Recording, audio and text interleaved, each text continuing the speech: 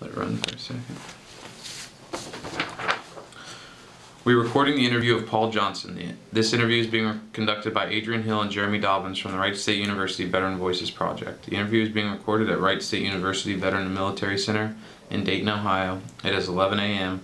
on May 14th, 2014. All right, Paul. When and where were you born? I was born in Worcester, Massachusetts in 1970, October of 1970. Um, who are your parents and what were their occupations? Uh, my pr- parents are um, Ronald and Gail Johnston. Uh, my dad was a um, salesman and uh, previous veteran, U.S. Navy. And my mom was and is a, a nurse. And um, so that was their occupations. Okay. Um, your dad was in the Navy, you said? He was. Did he serve overseas at all? Uh, he did. Uh, he had a tour in the Med, and um, and then he separated from the, the Navy. Okay. Um, what about siblings? Do you have any siblings? I have uh, two brothers, uh, Mark and Tim. And um, Mark uh, uh, didn't follow into the military. He's uh, an engineer uh, working on aircraft and whatnot. Um, but uh, Tim did follow in uh, to the Navy and is now uh, working for an aerospace company as well. Okay. Um, so, how many of them were in the military then? You said Uh, uh. Tim and I um, are were Tim was in the military and I uh, retired out of the military. He had a tour in uh, the U.S. Navy uh, and then separated early from the U.S. Navy. Okay. Great. Um, so, how did you um, decide you were going to join the military? What led you to that decision? Um, my decision to, to join the military really was sparked by um, an interest in uh, the, the services and, and their their prestige as well as the uh, how they were represented and, and how people represented themselves to me even at an early age. You know, when, I would do a Halloween dress up, I wanted to dress up as a soldier, and uh, being able to uh, go to air shows and, and be able to see the flight line and got a chance to do that at Loring Air Force Base in Maine and Pease Air Force Base in New Hampshire and uh, just really was in awe of the, the aircraft and the, the capability that it brought. So uh, that's really you know where a lot of my interest. Um, obviously there was a lot of help financially that could come with an Air Force ROTC scholarship, and that's uh, what prompted me to pursue getting into Air Force ROTC when I completed my high school. So, you did Air Force then? I did. And is there a reason you chose Air Force over the other branches? Um, no, I can't say there was anything particular about uh, the the Air Force other than you know aircraft. I was always draw, drawing aircraft growing up and and getting to see um, the aircraft up close at those different base tours uh, really affected me as well. So I think that was probably my first preference. Um, Did you grow up around here? I'm sorry. I grew up in New England. You grew up in New England. So, you were talking about the, is there an Air Force base close to there then? Uh, not anymore. No, you know, at that time there was a, a base in New Hampshire and a base in uh, in Maine, close to where we were living, and so um, I visited uh, the flight line, and that was quite a you know a distinctive visit. It wasn't something that I always did. It was uh, something we looked forward to and did on, on a unique basis, and so it was a good time and, and be able to see. Uh, the aircraft and stuff, and I think that's what prompted me to pursue the Air Force ROTC versus another service. Okay. And what, do you, do you recall the name of the base? Uh, Loring Air Force Base Loring. in Maine, and then Pease Okay. Air Force Base in New Hampshire. Okay. Um, so can you kind of walk me through the process? You said you got out of high school and then you went to. Yeah, I trans uh, transferred just uh, with the family jobs and health out to Arizona, and so I finished up my high school in Tucson, Arizona, and um, applied to Air Force ROTC at the University of Arizona. Um, came from a, really a small town upbringing and, and you know certainly schools and whatnot. Uh, I, liked having the small community, and uh, Tucson was huge you know, to me. So getting uh, finished off in school and heading off to a big university like the University of Arizona, um, I didn't stay long at the University of Arizona. It wasn't the environment that I wanted. It was just a huge campus.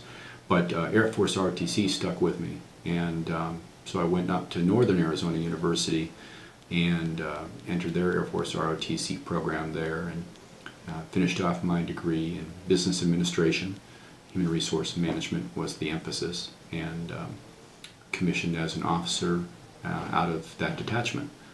Uh, at that time, they had asked me on a what's called a dream sheet what would I like to do in the Air Force, and and there was some research involved as to what the Air Force's needs were, and and uh, you did a little write up on what uh, how you think you could contribute to the Air Force mission. And um, what was interesting to me was that out of my top three choices, um, I was the Air Force gave me an opportunity to over time to occupy two of my top three choices, not just one, getting a, a job because of um, I, I had a chance to be a personnel officer for the Air Force, exercising my human resources management interest in taking care of people, which I did as a resident assistant on the campus, and it's something that was uh, obviously an interest for me in having the degree. Um, but also being a chance to be a commander. You know, section commander at that time was a specialty that was a shred out. It was a specific job for you to do that you would be coded to do um, regularly.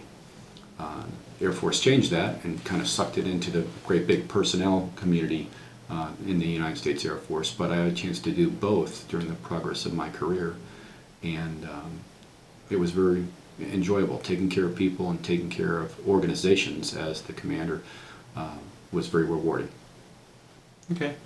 So, um, how did you end up in Arizona? I'm sorry, I don't think. Uh, it was really for my family's uh, job economy changes as well as health. Uh, the dry climate in Arizona was really what drew, drew us there, and um, so I was a junior in, in high school, coming into my junior year, Mhm. and so um, that was really the first big move that I can remember uh, taking. Uh, it's not that moves, even for our family, were unusual. I remember that, you know, by looking through slides and pictures at the time, we'd already made a move from Worcester to Holden and from Holden up to what was a small town uh, called uh, Lyman, Maine, still delivering milk and ice cream and butter at the door. Um, and then moving uh, Lyman, Maine to Goffstown, another small town in New Hampshire, before heading on to Arizona for that uh, transplant out to the west. Okay. You know, at the time, you know, our grandparents didn't know what to think about that with you know Arizona being out west and they thought it was bonanza time and you know all the all the you know Indians and it was rough out there and so they didn't know what to think um, and it wasn't once they got a chance to come out and see us and you know they got a chance to really enjoy. In fact they ultimately transplanted out uh, a little later for health reasons as well and we were able to kind of take care of them a little bit.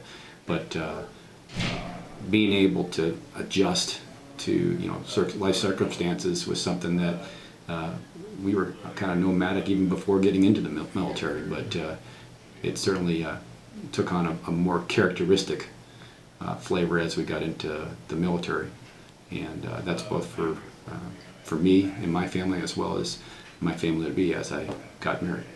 Okay. Great. Um, so, you went from ROTC, you graduated, you get commissioned. Where do you Where do you go first? Uh, well, our, my first assignment was to Hill Air Force Base. And at that time, you had to wait to, to enter into the service. And so, um, as I was waiting to come on active duty, I took on a temp job working, making boxes for you know refrigerators and washers, and, and getting into the workforce and kind of getting some interesting experience in, the industrial areas. And then we headed off. My wife and I had gotten married during that intervening time, and and um, so we took our first move up to Hill Air Force Base, our first uh, long trip in the car, you know, 14 some odd hours, and uh, arrived up at Hill Air Force Base up in Ogden, Utah. And uh, when I got there, I, I showed up into the uh, mission support squadron with a military personnel flight is and said, I'm here. Uh, and they're saying, Who are you? you know, and so it, my first experience was um, seeing a little bit of where the bureaucracy is, and where even though I'm a personnel guy, doesn't mean I'm working with all the other personnel guys, uh, which would come up uh, reoccurringly throughout my career, working section commander type stuff as well as other duties. And so uh, they got me over to where the fighter wing was, the 388th Fighter Wing. And I was working in their quality improvement uh, office, doing a lot of uh, training and, and uh, teaching uh, during that time. That was a big time for doing improvement in the Air Force and fundamentally teaching and training the material. And so that's what I did in my first couple of years in the service. Okay. Um, how long were you in again? Did you, you, I you was do in for 20 years. 20 years. Okay. So um, what uh, after that then? Uh, after that, I uh, transferred over from the 38th Fighter Wing uh, to the uh, Mission Support Squadron, the one I had stopped in earlier on, to continue my development as a personnel officer and got the opportunity to lead a section and then to lead a, a, a, a branch of the flight uh, before moving on to Robins Air Force Base.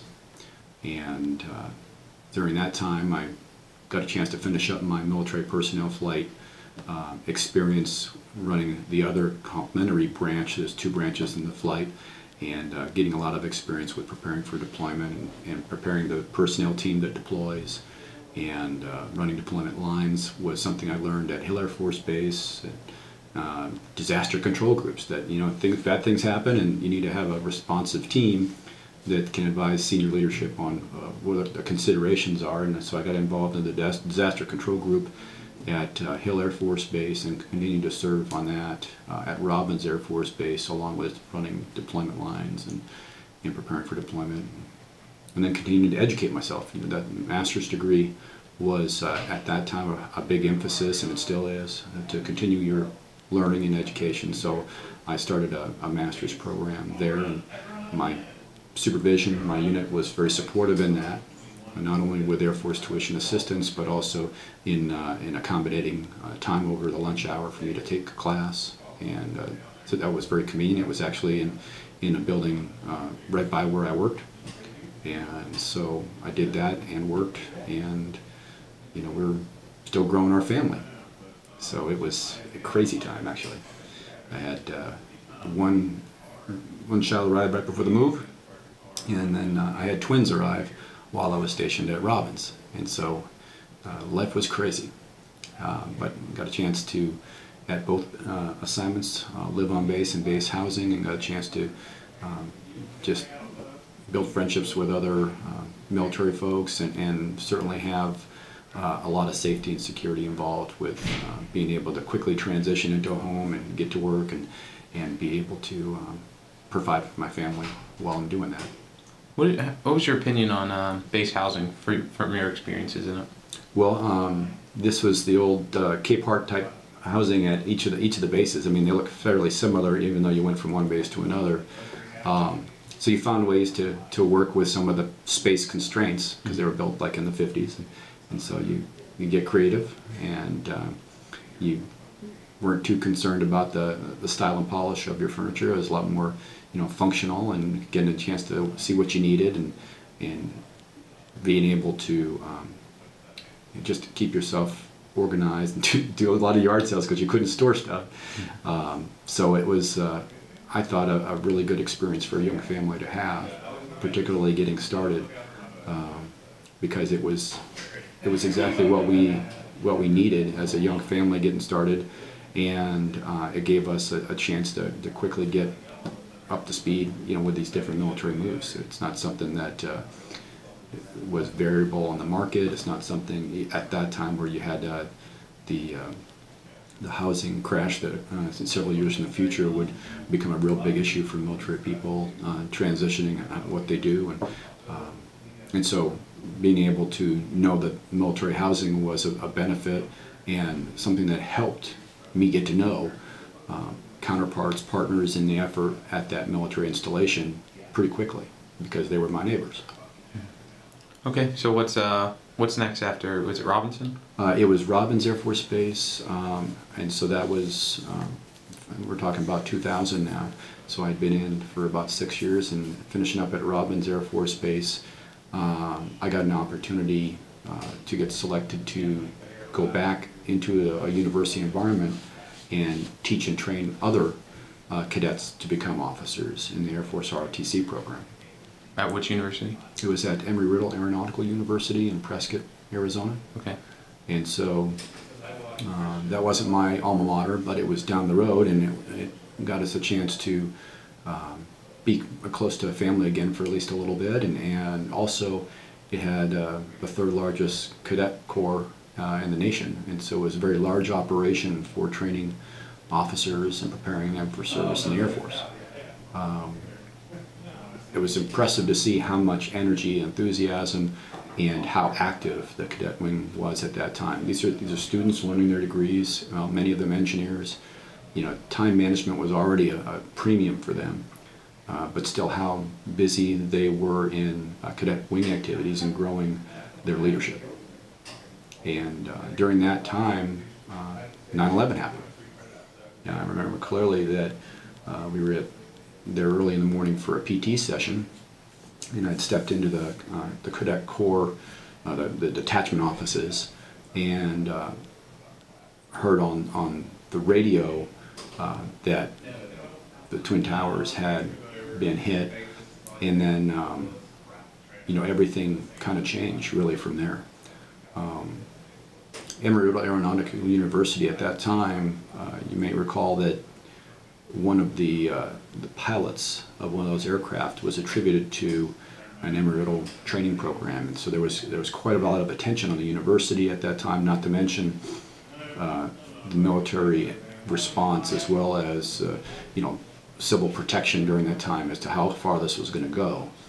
And so I remember that um, we were concerned for the protection and, the security of, of, the cadets because they were very visible. And uh, one of the things that uh, was organized is to have them come out of their uniforms uh, for that particular formative time and uh, continue to, to, attend their classes, and one including classes that I taught, but that we would be a, little low, low profile.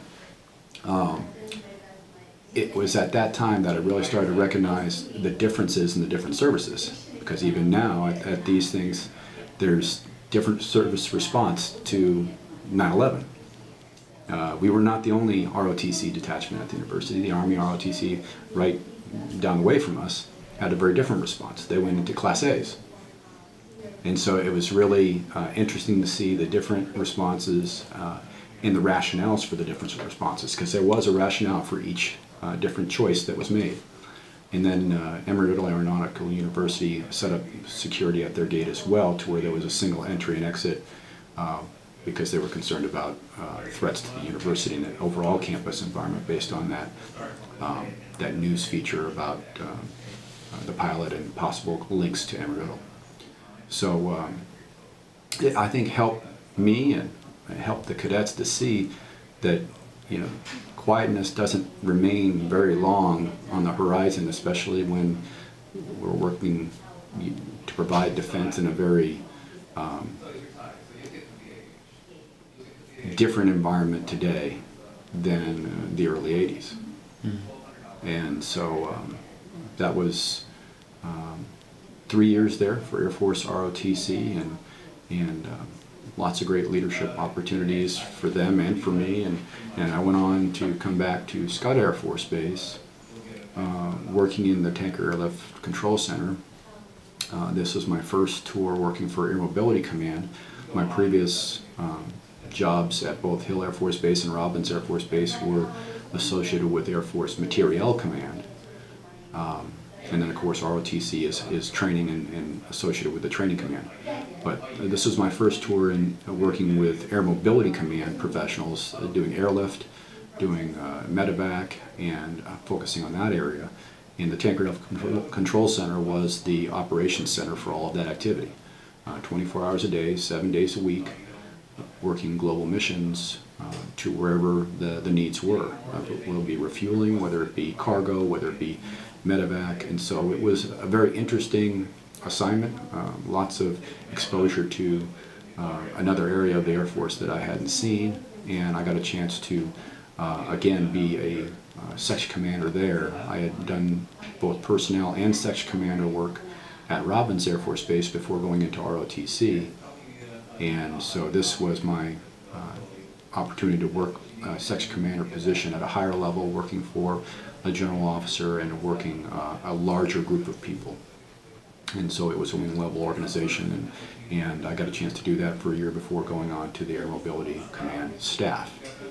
And uh, the, as a, for human resources and working uh, for people programs across the military, um, the major command staff uh, does a lot of work to um, augment what the bases do to care for people.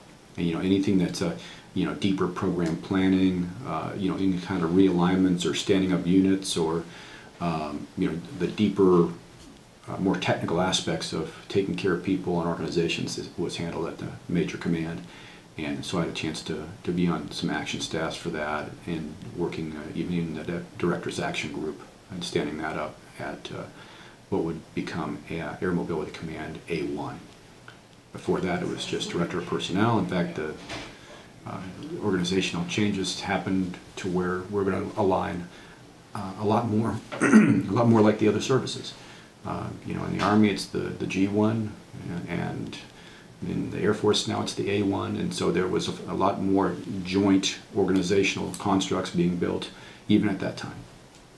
And uh, so I was a part of that with the Air Mobility Command staff, building some of that structure and, and uh, reducing the amount of staff that uh, a major command needed to have. And so it was an overall Air Force level uh, project that we were sort of the, the forerunners, the, the planners for. Uh, Air, Air Mobility Command, and then we worked closely with Air Combat Command on that.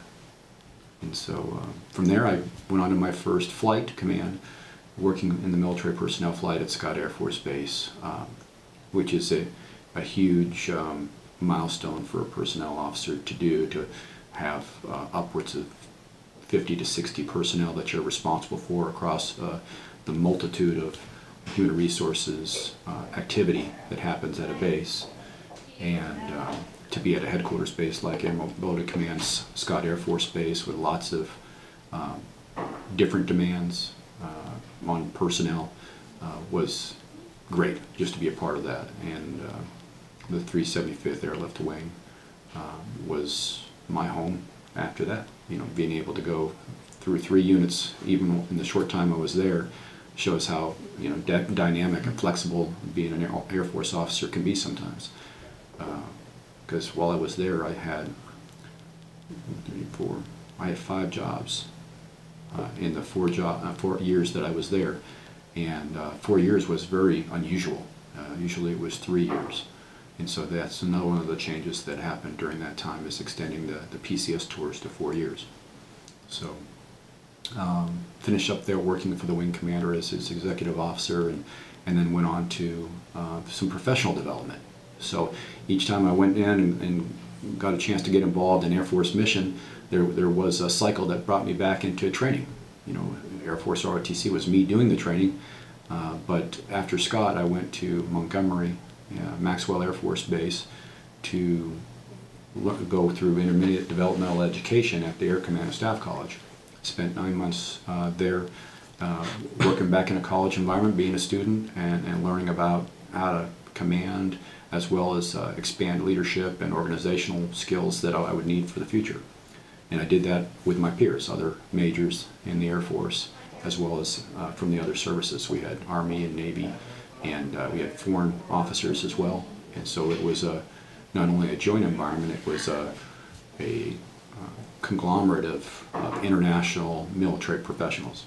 And so um, that was just another new experience to see how we fight together. We actually train together in preparation for those uh, coalition efforts uh, that happen in war.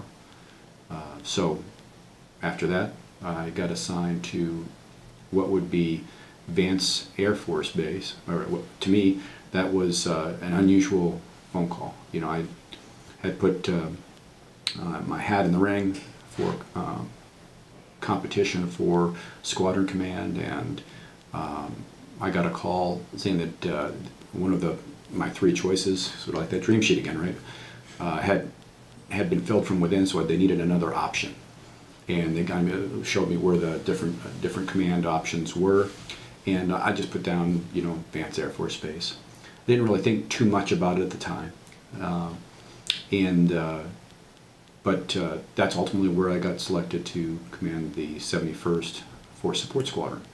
And I remember getting the notification, telling my wife, and then going, Enid, Oklahoma, and getting on Google Earth, which was just, just another technical thing, but it happened to go zoom in, zoom in, zoom in, zoom in, zoom in. It's just this, the, the Air Force Base, Vance Air Force Base, was actually smaller than the Ford operating base that I was deployed to, working with the Army uh, two years later.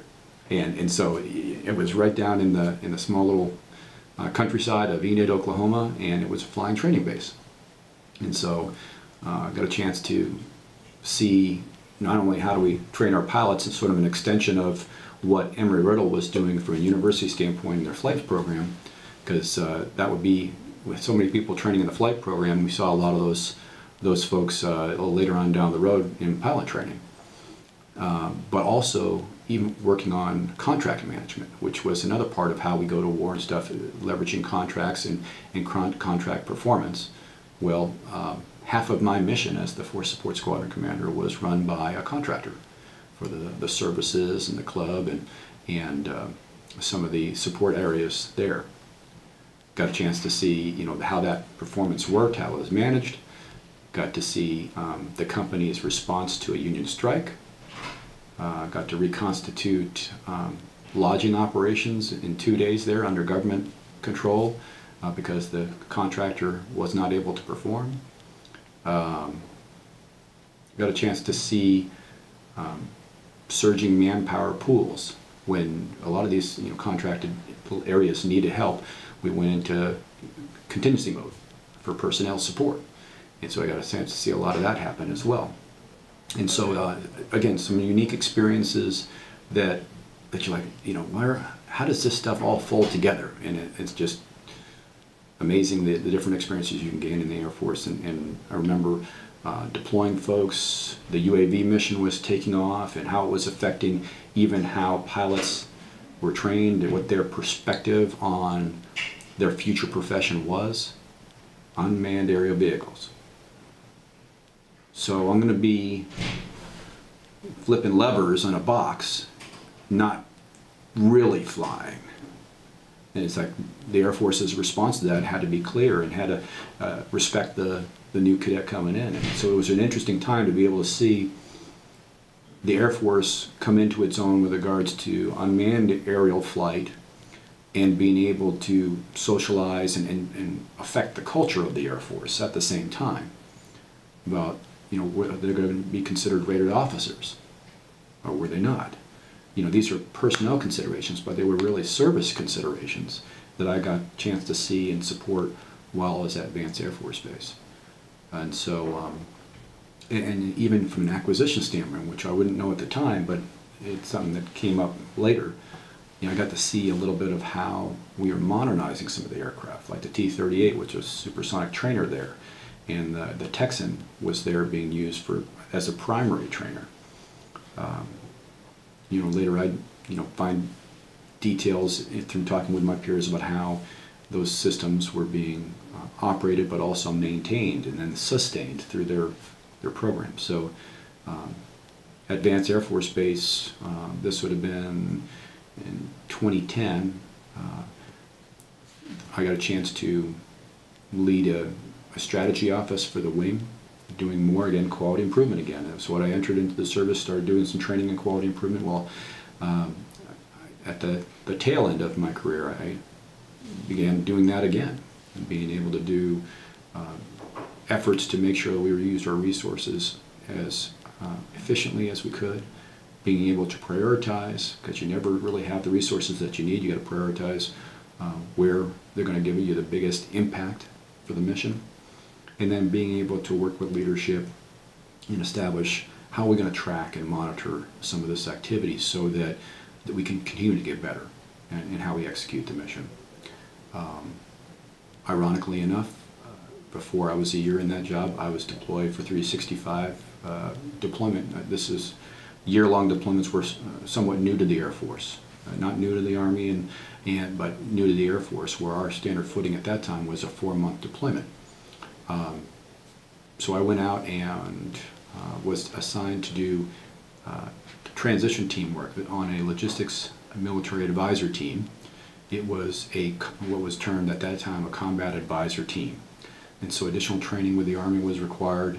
I went down to uh, Louisiana to Fort Polk and got uh, trained at uh, a renowned facility there, Tigerland. You know, it kind of has heritage back to, to Vietnam, where training was done there as well, uh, for a very unique skill set of being an advisor. And it was helpful not only my personnel background, but also being able to be in so many different training uh, units over the progress of my career, different kinds of training, different kinds of needs and uh, being able to, to organize that kind of activity because once I deployed over to Iraq for Operation Iraqi Freedom, uh, that was really the, the ins and out day-to-day activity is, is collaborating with the Army Brigade that we were attached to. Uh, and we would uh, synchronize our activity for helping the, the Iraqis to to expand the, the durability of their training, help them to gain training, uh, help them to organize and equip uh, their forces so that they could basically regrow their military. Um, it was very fragile. And so we did that in subject matter expert small teams. And so I had a team of uh, 10 professionals that were subject matter experts in their respective fields, focused on uh, the Army's uh, sustainment basis for the Iraqi military. There was two regional bases that we were responsible for. Each one of these regional bases basically carried the support for an Iraqi division in that province. And so uh, we would go out and travel on ground convoy, which is part of what we were trained for at uh, Fort Polk. Kind of a new thing for an Air Force guy to be running a convoy. But that's what we did. Uh, we were the, uh, the preponderance of that, of that team. It's actually the 10 people that I had responsibility for was really the Air Force component of a larger effort that I led uh, that had uh, Army trainers as well as a, a large segment of uh, translators. And so there was, at one time, uh, upwards, I think, 25 uh, people on the team as we organized convoys and established missions to go to these different bases. Kirkush was our primary area, and it was 20 miles to the west of the Iranian border. And so it was not lost on the, the Army and Air Force professionals involved uh, how close we were to, you know, a, a historical enemy of the Iraqi people, but also from a sectarian standpoint, um, a very influential neighbor. And um, that was all the context, partly uh, as we went about doing our training. Uh, it was uh, seeing how the military leadership was changing, uh, some of it influenced by uh, your sectarian affiliation, um, how they, you know, from a cultural standpoint, how they uh, provided accountability for their military forces, how they led. You know, they had a supervisory committee. And so having that NCO leadership, for example, at the fundamental level, that was very difficult. That was a new concept that um, was slow in coming to the Iraqi army. Uh, even supervision in and of itself, because of their thought process for a supervisory committee, really rolled it all the way up to the, the base commander involved and what their impressions and you know, uh, you know what they would respond to verbally or non-verbally with the folks that were under their command. And so it was a very different dynamic that I got a chance to, to be a part of as his advisor amongst the rest of my team because we went in, it was uh, usually uh, two military personnel and a translator focusing with the, the base commander, but each one of the other members of the team would have a translator working different functional aspects of that mission as well. And so we'd go out on missions. It was an hour and a half commute each way uh, every time we went out, and we went out every day. And so it was um, tiring, physically demanding. Um, it was uh, something where you did feel like you were part of a team, but it required a lot of discipline, discipline in thinking, discipline in planning, um, to orchestrate these different pieces together. uh, we had the Army Brigade, we had the, the training team headquarters folks for ITAM at Union 3, FOB Union 3, which is in the green zone of Baghdad. We had, uh, we were at FOB Warhorse, uh, where the brigade was king. They owned the, the battle space and they were responsible for that FOB, but they didn't own us. That created consternation at some times when we were on the same mission, but they didn't own us. Headquarters ITAM back at Union 3 owned us and, and directed our missions. So um, the idea that uh, you know collaborating with partners in the effort wasn't always clean. And uh, you know I did a lot of effort with the brigade to, to synchronize our efforts with theirs, and also uh, towards the end of the tour, they really leveraged us to uh, provide a very big effort that became really the centerpiece of what um, the Joint Forces uh, team in Iraq was doing at the time, which was a, a big showcase event at the division level using, using the 5th Iraqi Division, which was out of Kirkush. They did a lot of, you know, complementing fires. They did a big push on ammo and fuel and maintenance.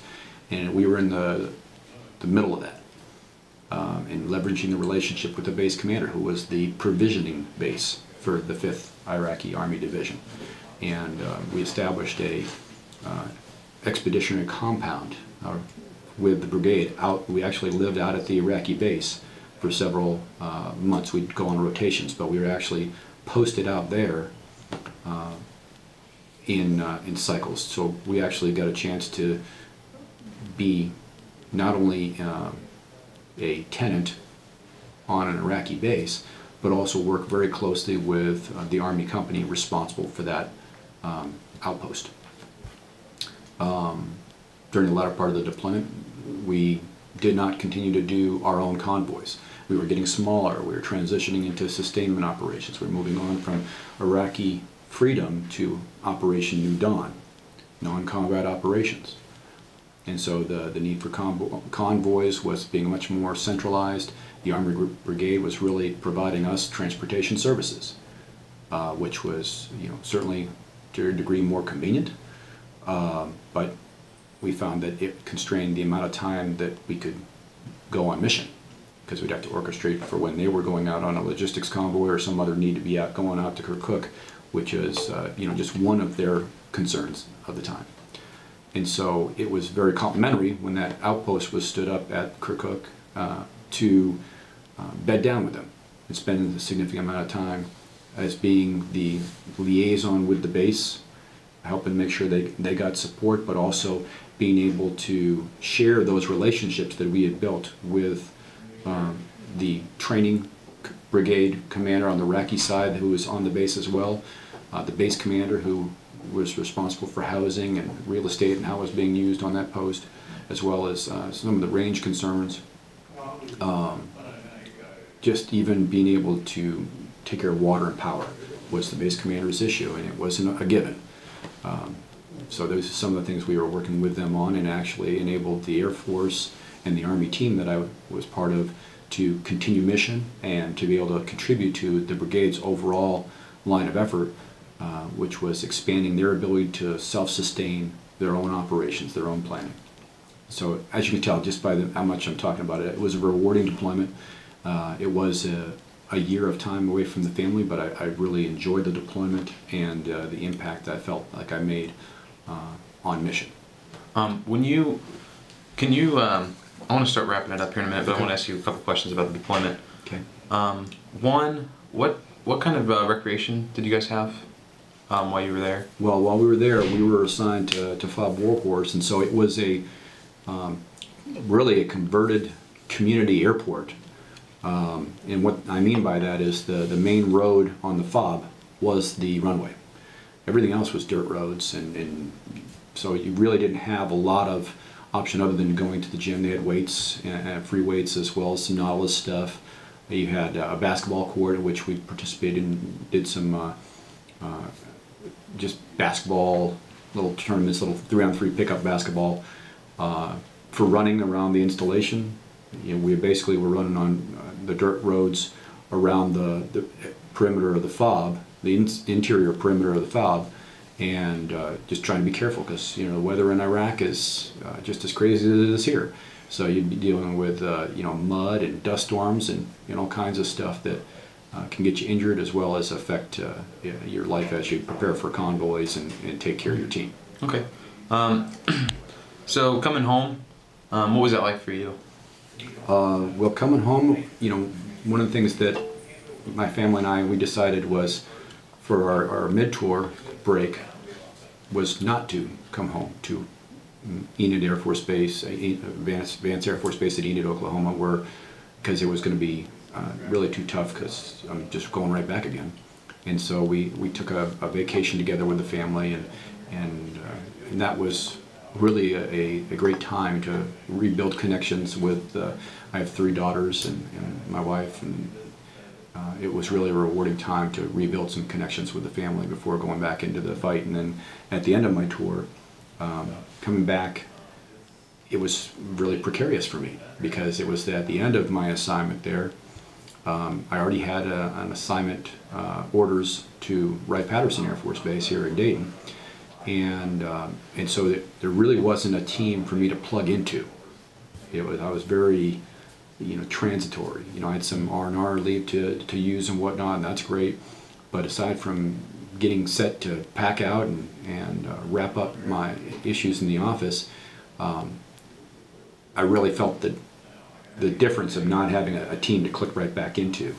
And so um, we moved out of uh, Vance Air Force Base to Wright Patterson in Dayton and um, into the Aeronautical Systems Center. And lo and behold, with all these transformations that are happening over the Air Force in my career, uh, I would be in the throes of another one, uh, where uh, Air Force Materiel Command uh, was reducing from 12 centers, providing sustainment and acquisition support to the Air Force down to five centers.